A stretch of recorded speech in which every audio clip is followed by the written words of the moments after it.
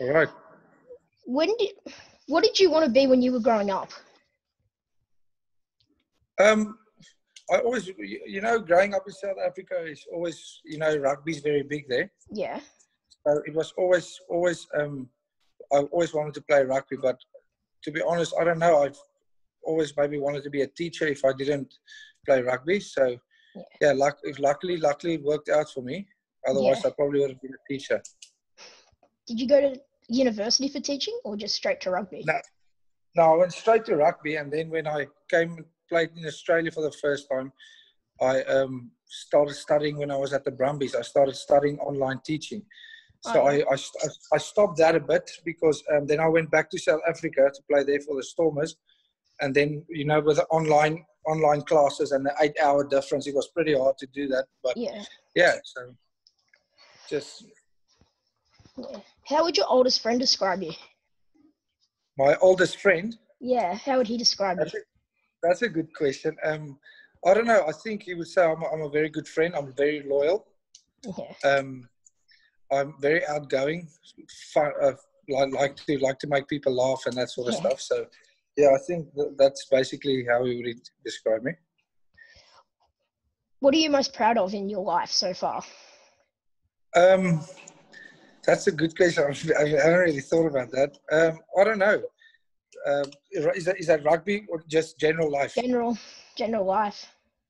I don't know. Yeah, gen- maybe just um, the person my dad brought me up to be, like a respectful, a respectful, and um, yeah, I, I believe I've got good manners and all that sort of Yeah. stuff. So treat, treating older people with respect and that sort of stuff. I think that, that I'm very proud of. Okay. That's good to have though respect and to teammates and coaches, so you don't, so you can Yeah, I, have a good relationships. yeah, no, that's that's exactly right. I mean, if you don't have respect and especially when you're growing up being a rugby player, respect for your oldest, eldest, and coaches and that sort of stuff, you Yeah. won't get very, far, you know. So Yeah. it's very important. How do you handle hard times, like during this period? It, it mate, it, that's it's very good questions. I um, it, it's very hard, mate. It's very hard. Like obviously, you want to be out there playing, and it takes a me- me- mental show on you. And sometimes it gets hard, and you, you get frustrated, and you take it out on your family and your friends, and which it's it's hard. But then you just have to the people around you, the support based family, um, your your girlfriend, your mom, who- whoever is, they they really need, need to lean on them and um, yeah, just work together because the times do get tough, but it is it is hard, mate. It, sometimes it gets very hard, and you just maybe I just have to sit and reflect, take a break from everything, and then regroup and go from there. Yeah, with that, have your parents and I mean, has your mum and your uh, girlfriend been helping you during this period? Yeah, my my mom unfortunately passed away last year, but Oh, sorry. yeah, my uh, no, no, it's no no problem, mate. No, but no, my mom was my mom was very very um, supportive, so she um, helped me a lot. But yeah, like my girlfriend, my dad, my brother, and all that sort of stuff. Yeah, they Yeah. they helped me a lot. Yeah. Sorry. No, mate. No, no, no. Don't be please. Don't be sorry. No, no, no. Please don't be sorry. Don't be sorry at all. Was it hard moving from South Africa? And was it easier It having was. your brother there? It, it was hard. Luckily, luckily, uh, when was I? I was probably about 16 when I moved here. Yeah. Luckily, my my brother was there with me, and my parents moved over with me, so it was very quite easy. Some people, you know, I think it would have been very hard if um, if it was just us two, and my parents were back in South Africa and that sort of stuff. But luckily, we all came over as a family. Yeah, that's good. So it made to it easier. everyone. Yeah. Yeah. so you could yeah. lean back on them when they came if you needed help Exactly. anything. Hundred percent. I think that that helped us a lot. Yeah. You've played for the Brumbies, the Reds, and you've played. Sorry, you've played for the Brumbies and the Reds in Australia. What's the difference between South African rugby and Australian rugby? Good question. I think um, South African rugby is the the players are a bit bigger and stuff, so it's a Yeah. much bit more much more physical game and Yeah. up front, you know, forward based and that sort of stuff. Where Yeah. Australian rugby, they they they I, I- think that they're much smarter. Like Yeah. um they, they yeah. So like they play quicker, they tactical, they a bit, bit better. And so yeah, that that's a difference. But I think Australian rugby is catching up to South African play like physicality and forwards games. And so yeah, Australia's definitely catching up. In Australia, do you reckon it's more of a forwards game or a backs game? I think I think a couple couple of years ago it was more a backs game, but I think it's it's slowly starting to become a forwards game or uh, how do you say it, a, a, a basic all over. So I think Australia's catching up with the forward side of things. Yeah. Which, which is good. You, as you can see in Super Rugby, there's scrums and Yeah. we, we do, dominate and yeah, most of the Brumbies they they've got good set piece. So Yeah. it's it's definitely definitely getting there. What do you reckon? It's more of a forwards or a backs game in South Africa, as well. Uh, forward, forwards Yeah. game.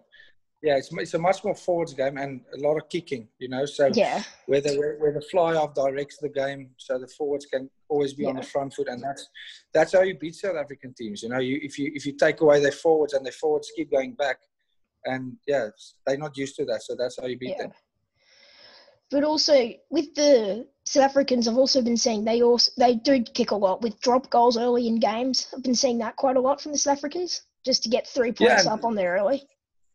That's it. That that's exactly how they play. You know, so to get get that for that get that little bit of momentum early early in, and so that the forwards can get into the game. So it's just basically yeah, getting momentum early, and that's what they do well. So if as soon as you you can see all the players, all the all the guys kicking in South Africa, they can kick 50, 60 meters out. Yeah, So um, I think that's one thing we lack in Australia, the kicking game. definitely. Yeah. So any anything 60 meters inside, you give a penalty away. The chances they kick it over is, and then that's how they slowly creep into the game. You Yeah. know. So Because they try and put bring kicking into the game more than scoring tries. They just go. what's for- that? They try and bring in kicking more than scoring tries. Hundred percent. Exactly. Yeah. Yeah. No. So Yeah. How has it been playing for the Reds through your time here? it's been good. I've played three seasons now, and it's been Yeah. good, mate. We've had. Um, I've made first of all, I've made probably some of my best friends at the Reds, Yeah. and um, we've had a couple of hard years. Um, Yeah. But I, I think if, if it wasn't for this COVID thing this year, we would have definitely been. Um, we, just started playing well, and every I mean every game, every game, we've led half time. You know what I mean? So um, Yeah. we just.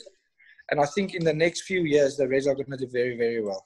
Yeah, because I'm a Reds supporter, but uh, with Yeah. that, uh, the Reds have, I feel like they've been playing more aggressive and a better style of football this year than last year. Yeah, no, definitely. I, I think it's because all the younger boys they're also getting more experience now, and um, I mean, I mean, we've beaten in the past couple of years. We've beaten New Zealand teams, South African teams. Yeah, So we we we have we pride ourselves on being physical, yeah, and uh, we know that's where you win the game. So, and I think uh, uh, Brad Thorn, our coach, has uh, installed that in us from a couple of years ago. So the younger guys are also more experienced now, which is good. Because you can also see that coming through from the style of rugby you guys are playing, especially this yeah, year. no, def- yeah, no, definitely. I mean, geez, we probably had the start at the hardest start of the tour, but no, Yeah. we definitely. Um, I mean, we played the Crusaders. that was a good game. I remember watching that. Yeah, It was a good yeah, game. we should have won that one, eh? Yeah. Yeah, yeah, no, it's, it's good, man. I, but but uh, as- like I said, I think in the next year or so, it's going to be a very. Um, the Reds are going to do very, very well. yeah. How are you keeping yourself busy and fit during this time? Excuse me. How are you keeping yourself busy and fit during this time? Um, we try and um, train a bit. Start start in the Yeah. morning, train a bit. So you, uh, but other than that, you can't really do anything. We just sit and maybe I'll watch a bit of series. You know, being lazy, eat eat a bit of food, which I shouldn't do, but you know how it goes. Yeah, it. So, yeah, yeah. Because I've seen a lot of players are doing like going down to the, the Ballymore. Because yeah, uh, I know Bryce Hegarty and James O'Connor's been going down there and kicking goals Yeah. with uh your kicking co- with their kicking coaches. Dave Al- Alfred, Alf, Yeah. Alfred, yeah. Yeah, So no, yeah, they have been, but um, it's it's hard for the boys because um, the, the obviously the social distancing and that sort of stuff. Yeah. It's hard. So I haven't see, I haven't seen the boys in probably a month, month and a half. yeah. Super Rugby's been cancelled for about a month now, hasn't it? Yeah, about yeah, about, about a month. They say I don't know. Like there's talks about it's going to start back maybe end of July. Yeah, So I'm not sure. I'm not sure what exactly what sort of um, Yeah. uh, sort of type of games is going to be, but we'll see. are the Reds like putting out like uh what is it uh like the like Sorry. Um. No, all good. Sorry. Programs on how to stay. Yeah. Yeah. Yeah. So we, we get sent programs every every week that we have to do. Yeah. But it's, some of it is it's very hard to do because obviously you don't have a gym at home and that's also Yeah. you try and make the best of it. So um yeah, the, the running stuff like I, I run a bit yeah in Sunshine Coast. I live in Yeah. Sunny Coast Oh yeah. on the field. Yeah, so it's it's hard with the rain and stuff like heavy and you know us us heavy boys us heavy boys we don't run easy. So Yeah. Yeah. Oh, who's the worst teammate to room with and why? Oh Nala, yeah. Tom and Phil. Yeah. he's just he snores non-stop it's it's very hard to sleep very, very good very good friend of mine but he's very hard to sleep But he is like very the noises the noises that comes out there is ridiculous What's the best word that describes you right now? describe me Yeah, best word to describe you.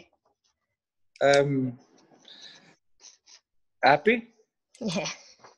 yeah i'm happy Why? Um, i don't know it's just small things small things um in, in my life is going well at the moment yeah. So and that those small things tend to you get get all the small things right, and Yeah. then they tend to become bigger, and you know get 10, 10 small things right, and it's a massive thing. So that's yeah, it's hard. It's hard, but yeah, Has it been hard playing without your brother this year? it is. It has been, but um, I thought I would have played against him this year, but I don't think I would. But it it, it has been hard. Yeah. It has been hard, but um, you just have to move on with it. We've got a good relationship, so we talk every day. Yeah. But yeah, it's, it's we knew it's going to happen sometime, you know. Yeah. If you did play against him, would you dig into him or would you? I, I, will, I will dig into him. Yeah. He know- yeah, he knows it. what No, we'll, we'll, we'll, we'll have a good, we'll have a good go at each other. yeah. What advice would you give to a 12 year old boy, to a 12 year old kid today? Rugby wise, Yeah. never, Oh, never stop life. in, life. Okay, first rug, rugby wise, never, never, never stop enjoying it. Yeah. Never, never do it. If as soon as you stop enjoying it, you're doing it for the wrong reasons. Yeah. Right? So maybe, especially when you go older in your career and you want to become a professional player, always Yeah. remember to enjoy it.